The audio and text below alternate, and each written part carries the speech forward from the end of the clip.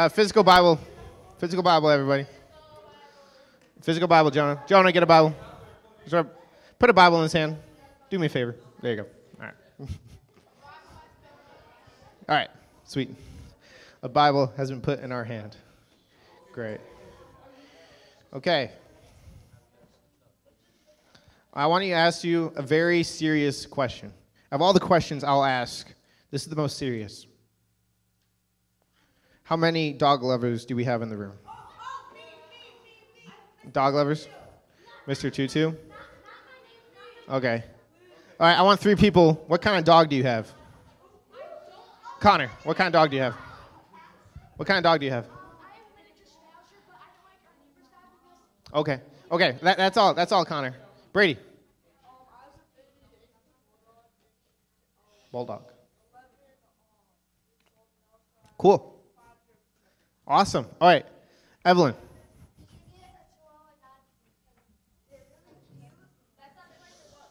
What kind of dog do you have? Okay. All right, Julia, and that's it. Golden Doodle? Okay, one more, and we're done. Yeah, Luke. Okay. No. okay. So, I love dogs, but I didn't have any dogs growing up. I had a dog for three days, but I kept running away twice. That's a long story for another day.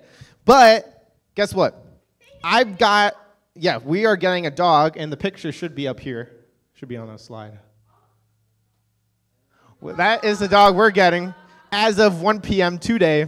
We put the deposit down. That's our dog. He lives now in Ohio for the next few days until we go pick it up. All right? We don't know a name, so if you could help us, that would be great. Um, but I've been excited for this new dog, Blank. I'll call him Blank. Blank, I'm so excited to get Blank. Um, he's, it's so exciting. But I never had a dog of my own, so I don't know what it takes to have a dog until I talked with my brother a few days ago. So me, me and Elijah, we have a really close relationship. We call each other almost every day, every other day. We FaceTime all the time. And uh, I told him about us maybe getting a dog. And my brother, he had puppies for a little bit, and he was like, Do you know how much work that's going to be? How much, excuse my language, pee and poop it'll, it'll do on the floor no matter what? And I'm like, What? It's, uh, well, apparently, this is going to be eight week old dog. And so it's going to pee and poop everywhere. And, so, and that's the change that's going to happen. It's going to be hard. All right? And I feel like for some of us, new things, new things that we experience, we don't expect the hard things to happen, right? Like, I didn't expect a puppy to be that much work. My brother said, Yo, it's going to be a ton of work. You're going to have to clean up the pee and the poop all the time. I'm like, Oh, man. And Faith was like, Don't tell him that. Don't tell him that. it's really funny. Um, but yeah, that's what we're talking about today. Change is great, but that doesn't mean it's always easy. Um, so here's the truth most of us think that new means easier. New means easier. Oh, maybe if I'll get to middle school, my life will be easier. Oh, maybe when I get a dog, life will be easier. Maybe if I get to high school, life will be easier. No, like if you're struggling with a teacher or coach, you think maybe if you had a new one, it'll be better. Or maybe if you got drama with your friends. I'm not talking about like doing plays. I'm like drama, drama. Like there's tea in the room. Okay? I don't know if you know what tea is. Tea. Tea, spill the tea. It's like drama, okay? Not good things. But you start imagining what a new friend group might be like because there's a lot of drama going on. It's normal to think that way because we believe that something that's automatically new is going to make our lives automatically better. But here's the catch even when we get something new, it still comes with change. And change is difficult, change is hard. In fact, stepping into something new requires some of our most effort. All right? So let me give you an example. Maybe you finally got that class or team that you've always wanted. It's awesome. But then you realize it's a whole lot tougher than expected. Or maybe you've started a new friendship, but after a while you notice all the same conflicts you had with your old friends. Right? We've all been there. It's easy to think that change will fix everything. Oh, it's like the best new iPhone, it's going to be great. Or the best new this. No, it's the same thing, all right? all right? Uh, it's the same, right? Everything, right? But some, but most times, we realize that not change is hard because life is hard. Life is difficult. All right? And so that's where we're going to go to. We're going to see what Paul says to a church in Corinth about this. Okay, so if you have your Bibles, raise them up. Thank you. Okay. All right. Yeah, all right, we're going to do a sword drill. Okay. Okay, lightsabers are not allowed. That means your phone Bible. No phone Bibles. All right, your sword, because Ephesians 6 calls Scripture the sword of the Spirit. That's the sword drill. You have to hold it by the spine. No cheating, okay? Hold it by the spine, straight up. By the spine. Everyone, by the spine. Lucian, put your hand up. Put your hand up, dude. Okay. All right, Second Corinthians 5.17, go. Do do do do do do do do do do do do do. Once you get it, stand up and read. 2 Corinthians 5:17. Once you get it, you stand up and read. And you get bragging rights for eternity with capital E. Okay. Uh, Aubrey was the first one to stand up and read. All right, everyone sit down. Everyone sit down. Okay. All right, everyone get to the passage. Listen to Aubrey read it. This has everything to do with change, okay? All right, go.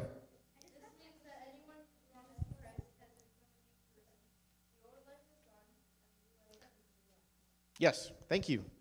All right. That that has a lot to do with change. But do you know what helps us when we read a verse? Ever get those like Bible verse of the day on your notifications? What helps us is to read what's around it, the context, right? Right? Who is writing? And that guy, his name is Paul. Paul is writing this letter to the church in Corinth. All right?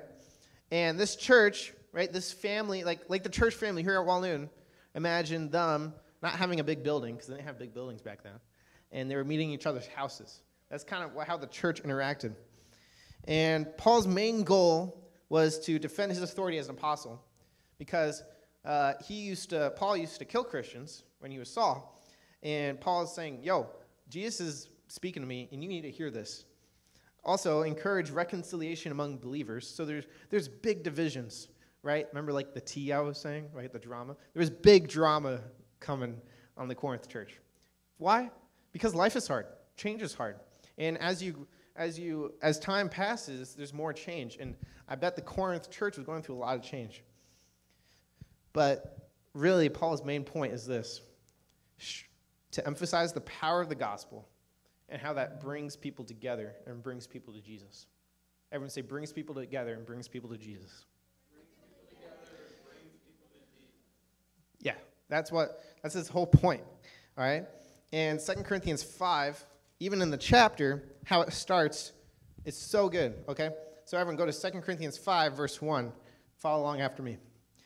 For we know that when this earthly tent we live is in is in we I, I messed this up in the high school too this earthly tent we live in is taken down, that is, when we die and leave this earthly body, we will have a house in heaven, an eternal body made for us by God Himself, not by human hands. We grow weary in our present bodies, and we long to put our heavenly bodies like new clothing. So, Paul is saying this You have earthly bodies right now, and they are imperfect. They are not, they they're not eternal. What is eternal when you reach when you reach eternity, that means things are never going to change, right? We're talking about change. In eternity, things will never change because you're God who is perfect and eternal, and you are perfected with Him, okay? And that's what it's saying. Just like a tent. Ever been camping? Does the tent stay there forever? Everyone say, no. no. Wh- whisper it, no. No, right? No, no, it, do- it doesn't stay there forever, right? So then we hop to the passage around it. Follow me. Either way, Christ's love controls us. We also believe that we all have all died to our old life. He died for everyone so that those who receive his new life will no longer live for themselves. Instead, they will live for Christ, who died and was raised for them. So we have stopped evaluating others from a human point of view. And at one time, we thought of Christ merely from a human point of view. How differently we know him now. This means that anyone who belongs to Christ has become a new person, a new person. The old life is gone, and the new life has begun. That's a huge promise that Christ, his death and resurrection, was so that you can die to your old life and to live a new life. But will you live the perfect life? Are you going to live a perfect life? The new life Christ has given you? Are you? No, no, no, right? Because we are imperfect. Our earthly bodies are imperfect. But what was perfect, though, what was perfect, though, was that Christ, right? Verse 15, he died for everyone so that those who receive his new life would no longer live for themselves. Said they would live for Christ, who was died and was raised for them. Christ was perfect. And because of Christ's sacrifice, he put his, he put his um, perfectedness into us so that when we get to eternity, when we get to Jesus, where he judges us, he sees, God sees his son Jesus in us because Jesus is perfect. And that the guilt that we, has been charged against us, right? It's like a warrant for our arrest. Christ put his name on that warrant instead of you. And that death was arrested, right? Remember that song? That's a good song, right? And because of that, it won't be perfect. Change is still hard. But Christ has started a new life that has begun. People look overlook this all the time. We often look at overlook it. Begun. Paul doesn't say our new life is completed. No, just like in the beginning of the passage, chapter 5. It's like our earthly bodies won't last long. No, a new life has begun. It's just the beginning. That means we are becoming new. It's a process. It's a process, and that process takes time. And Paul was reminded, was reminding the church in Corinth, he reminds us now that stepping into our new life with Jesus doesn't mean everything changes instantly. No, it, no, it's about trusting that God, through the process of a change, and while that change can be hard, it's good. It's really good. All right? Because God works all things according to, to his purposes for what? For your good. Exactly. He works all things for your good, despite all the hard things and the hard changes in life. Because he is sovereign. What does that mean? He's overall. He's exalted overall, but also he's personal with us. That our old life has gone away and the new life has begun. What does that mean? It's that personal relationship with him. Right? So, what does this mean for you? Maybe some of you, like you, need a fresh start. Maybe you've been praying for God to change something in your life. Maybe it's a it's a bad habit that you won't tell any of your friends or your, or your parents, or a difficult relationship with somebody, or even the way you see yourself. When you see yourself in the mirror, what do you think of? Is it all negative?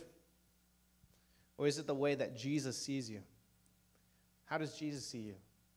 And what is told throughout Scripture is that you are forgiven, you are accepted, and you are loved. You have to see yourself the way Jesus sees you. That's the only way you're going to make it through change. Whether in middle, when you get to middle school or you get to high school, right? You experience new teachers and new new classes, new friends. That'll change a lot in middle school because you're, you're trying to find yourself. Hey, who am I? Who am I? When you question that, when you go through change, remember, you have to come to Jesus and see, see yourself as how Jesus sees you that you're loved, you're forgiven, you're accepted by Him. And here's the thing just like Paul says, change takes time. New life, verse 17, new life has begun. It's a beginning, it's a starting point. That's why Paul, throughout a lot of his letters, talks about running a race from the beginning to end. It's about running a, the race that Christ has laid before us. Are you at the when you start your relationship with Jesus, are you already at the end zone? No, no, you're not. Right? Or when you plant a tree in the ground, does it become like a big oak tree overnight? No. Some of us, yeah. Here's the thing. We have to love the change. We have to love the process of becoming of becoming new, of becoming a person who follows Jesus and love like him more. Some of us just wants the benefit of what you get in eternal life. Someone just wants the benefit of fire insurance. You don't want to be separated from God forever, so you want to be in eternity, right? And some of you have been told that by your parents, hey, right? Or the only reason why you're Christian is because you want to get to heaven. Yes, that, that is a desire that we should want, but we should love the person that loves us back, who, died, who put his life on the line and died for you. Right? We should, we should love him back because how much he loves us. And it wants to be personal with you. It, and it's not, it's not about what we get from Jesus, it's how we know who Jesus is and how he's working in us. Because the new life has begun. Eternal life, yes, we will die one day physically, but eternal life starts now. A new life has begun. And we're going to be with Jesus now and for eternity forever. But it's not going to be perfect yet, right? We still have to experience change. Where in your life is God asking you to trust the process of becoming new? Is it in your relationships, your family, at, your family or your school? Is it how you view yourself? Remember, new equals change, and change isn't always easy, but it's good. All right, so so next time you get a really hard math test, you're like, oh, I don't want to do it. I just want to play Fortnite, or I want to go on my Switch, or or um, or I just want to go. I don't know. What do sixth grade girls do? What do you like to do? I'm gonna let them speak because they know how to. What? Play outside. Oh, I want to be outside. I did that a lot in school. I saw people playing outside in recess. I'm like, man, I want to go outside. All right? No. Pay attention in class and realize this is an opportunity to learn and to change. And also, school is an opportunity to show others who Christ is, who Jesus is. That's, that's, it's also another opportunity, too. All right? So, what can we do? Let's start by looking through looking through a new lens. All right. Has anyone ever tried to like put on uh, someone else's eyeglasses? Does that is it blurry sometimes? Right. Yeah. Right. Sometimes we put on glasses that don't belong to us. They belong to the enemy that wants us to see ourselves in a blurry way. They want to see, the enemy wants to see us as we're guilty, we're, we're ashamed, we're, we're, lo- we're lonely, we're all these things that are so negative. But no, no, Jesus wants to give you the glasses that belong to you, which is really His. So, so what does that mean? See yourself the way Jesus sees you that you're loved, you're accepted, you are forgiven. All right? So see that. Then also, take one step forward every day. Change doesn't happen overnight. Remember, verse 17 the old life is gone, is gone, definite. The new life has begun. It's a process. All right? So maybe that's a step reaching out to someone that you're struggling with. Hey, I'm struggling with this. I need your help. Maybe it's forgiving someone. Maybe you're holding unforgiveness from someone because of what they've done to you. No, see them as Christ does. See yourself as Christ does. If that God has forgiven so much in us, we should forgive the others who hurt us. Because that's how imaginable Christ's love is. It's not just for you, but it's also the person that you don't like. Man, that's amazing. All right, maybe it's maybe it's showing someone kindness that doesn't deserve it. Maybe someone's been like kicking your chair in class, or someone broke your pencil, looked at you in your eyes and went, right? How would you feel? Pretty bad, right? But it's about showing kindness, all right? It's about showing kindness even when someone looks in your eyes and breaks your pencil, all right? And say, hey, it's okay, I'll get a new one. Please don't do that again. But Christ loves you. you know. But actions are so much louder than words, right? And uh, so, whatever it is, take that next step.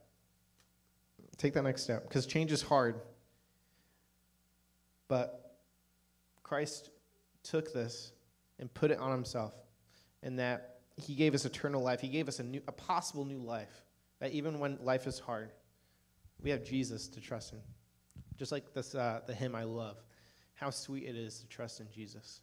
And let that sweetness be new every morning. So Let's pray, and then let's go to life groups and talk more about this. God, how sweet it is to love you and to trust in you.